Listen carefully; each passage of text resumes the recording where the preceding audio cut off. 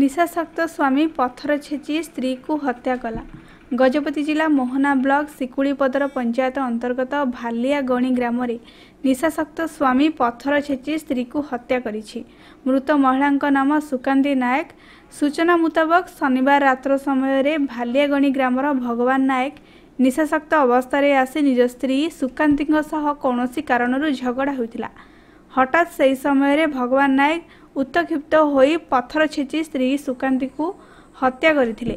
ଗ୍ରାମବାସୀଙ୍କ କହିବା ମୁତାବକ ଭଗବାନ ନାୟକ ପ୍ରତିଦିନ ମଦ୍ୟପାନ କରି ସ୍ତ୍ରୀଙ୍କ ସହ ପାଟିତୁଣ୍ଡ କରିବା ନୀତିଦିନିଆ ଘଟଣା ଅଟେ। ଏନେଇ ଗ୍ରାମବାସୀମାନେ ସେମାନଙ୍କୁ ଗଣ୍ଡ ସେମାନଙ୍କୁ ଗଣ୍ଡଗୋଳ ନ କରିବାକୁ ତାଗିଦ ମଧ୍ୟ କରିଥିଲେ। କିନ୍ତୁ କେଉଁ କାରଣରୁ ଏଭଳି ଅଭାବନୀୟ ଘଟଣା ଘଟିଲା ତାହା ଅସ୍ପଷ୍ଟ ରହିଛି।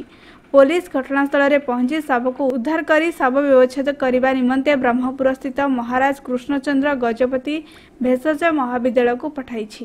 ଉକ୍ତ ଅଭିଯୋଗକୁ ଭିତ୍ତି କରି ମୋହନା ଥାନା କେସ୍ ନମ୍ବର ଶହେ ଛବିଶ ବାଇ ଦୁଇହଜାର ବାଇଶ ଦଫା ତିନିଶହ ଦୁଇରେ ଏକ ମାମଲା ରୁଜୁ କରି ଅଭିଯୁକ୍ତକୁ ଗିରଫ କରିଛି।